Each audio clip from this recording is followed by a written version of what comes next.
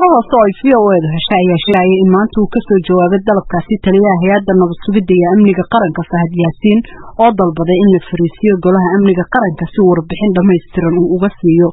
dilka ikraam qoraal arrintan ku saabsan oo uu diray xafiiska ra'iisul wasaaraha iyo madaxweynaha ayaa sidoo kale waxaa lala socodsiiyey wasiirka amniga iyo guddoomiyaha baarlamaanka. Inkastoo uu ra'iisul wasaaruhu isagu codsaday in xogtaasi loo soo gudbiyo ma cadda sida uu uga jawaabi doono dalabka taliyaha nisa ee ah in golaha amniga qaranka oo wada jooga ay hay'addu warbixin ka siiso afduubka iyo dilkii ikraan haddaba sidee u muuqataa jawaabta taliyaha nisa ee ku aadan dalabkii ra'iisul wasaaraha ay ahayd in afartan iyo sideed saac gudahood uu jawaab uga soo siiyo dhammaystiran qaabkii uu u dhacay dilkii iyo afduubkii loo geystay ikraan tahliil? Waxaan su'aashaas sii weydiiyey xuseen macalin oo madax ka ah machadka hiraal ee daraasaadka amniga waa mahadsantahay falastiin jawaabtaas waxay ay tahay in uu ra'iisul wasaare roble codsigiisa ama dalabkii uu dalbay ahayd inuu dhaqso ku soo jawaabo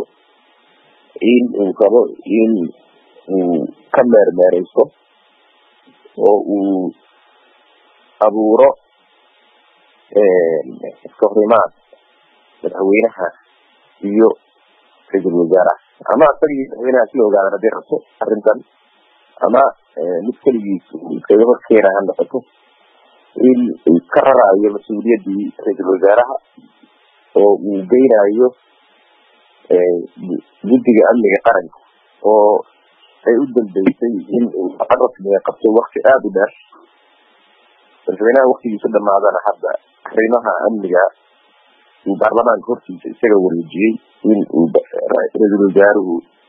nisa ayaa hore warbixin ay u soo saartay ku sheegtay in ikraam tahliil ay u gacan gashay al-shabaab oo markii dambena ay dileen. Hooyada ikraam ayaase diiday warbixinta nisa iyadoo ku tilmaantay been cad oo aan geed loogu soo gaban.